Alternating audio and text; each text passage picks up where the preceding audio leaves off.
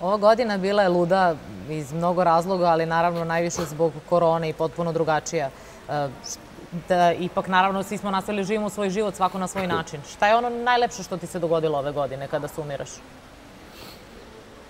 Što ne se da kažeš? Zašto ne smeš da kažeš? Šalim se. Pa ne znam, pa mi samo što se desi lepo u godini u, godini u kojoj je umrlo toliko ljudi koje poznaje to strašno. Htjela sam da te pitam i šta je najtužnije, nažalost, bilo je mnogo toga. Tako da je to stvarno strašno.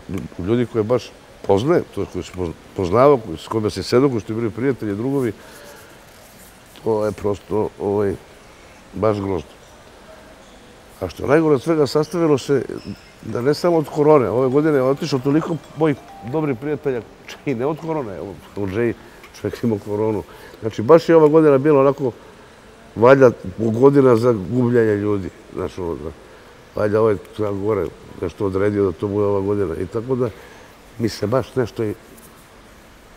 Ne znam šta je mogu lepo da izvijem u ovoj godini. Majke.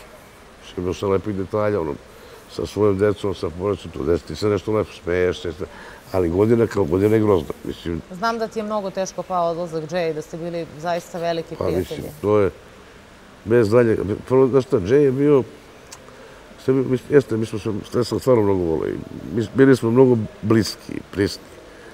E, I zadnjih, posljednjih godina smo se često i čuli, ja sam ga izvao i, i pominjao sam ga za razliku od mnogih, naravno, koji su ga zaboravili. To, I to je, na, nažalost, tako. I ja to ne pričam sada, ja nešto s tebe, nego stvarno je tako. I ovaj, ali Jay, kad već ovaj sad komentarišu kao prijatelj, pa on je bio ovakav, Jay je bio moj prijatelj, Jay, Jay je bio moj idol.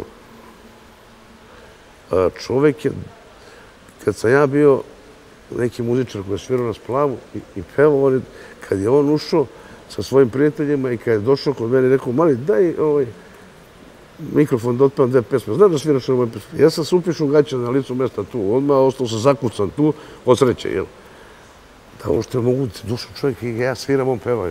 Znaš ti šta je to? Znači, ja sam ga tako upoznao, ne znam, mene ostao idol, on je dan danas moj idol. Ja se dan danas, kada kažem, ustanem i poklonim se. I to treba da znaju svi ti koji sad nešto licitiraju sa ljubavlju, ljubavlju prema velikom imenu džerama, da nosom treba da ustanu, se poklone i da kažu da je to najveći kralj na ovim prostorima. Da je bio gospodin, da je bio šmeker, da je bio... Kakav je bio prvo sebi? Pa, ne bi, bio, ne bi ga toliko ni volali da je tako. Najbitnije od svega otišao nasmejan, ja to znam sigurno. Ali mi je krivo, bole me neke stvari i nerviraju me, već me nerviraju. Šta te najviše boli u toj priči? Pa nerviraju me to, pa to licitiranje, to, to, to, tih 7 dana kad čovjek umro, mislim da puste ga da se oladi. Mene su zvali, mene su zvali novinari da me obavešte da je umro. Nisu, a, a ja znam da... Tako saznao, nažalost. A ja znam, ja znam da bi, ja sam za pet minuta, jer bi me zvali, znam. Ali oni su pre pet minuta, pre ovih što su mi meni javili, me zvali, neko zvali, rekao, dajte neki anegdotu, neko je čekajte. A onda sam naravno upalio televizor, već sam vidio, rekao, peva Nedanju i plače. Čekajte, sve se to, to tako ne ide. Šta je nešto najkorisnije što ti je Jay rekao? Neki savjet ili možda neka situacija u kojoj ti je pomogao? Pa vidi, pa on je, on je, on je meni ne dao savjet. On je meni prvi, on je prvi mene uvažio kad sam ja postao, da kažeš, kad sam imao jedan prvi veliki hit i kad je se pojavio taj neki Aca Lukas, kao Aca Lukas, jel? A već se svi znao godinom, jel? On je prvi, on je meni prvi priznao, rekao je, bravo, kralju, ti, moj brat, to ono, i već me je stavio na pjedastal ravan.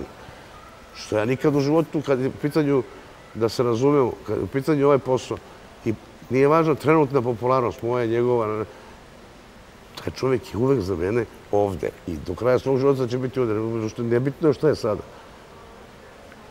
I ja to očekujem.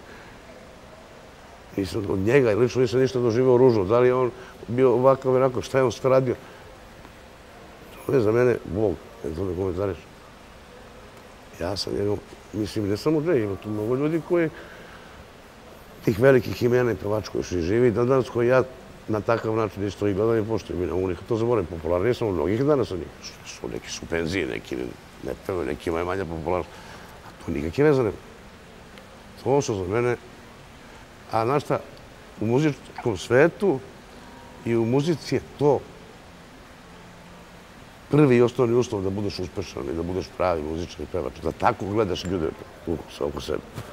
Znaš, najlakše je napraviti neku popularnost veliku i doći iznad svih i onda da izvineš nepoznavati nikog i srati svima po glavi. To svako može. To ne može tako sve. Onda nisi čovjek, onda te ljudi ne mogu ni voleti. I zato ćeš izgubiš, izgubiš. Bićeš tu negdje ćeš da traješ i otićeš.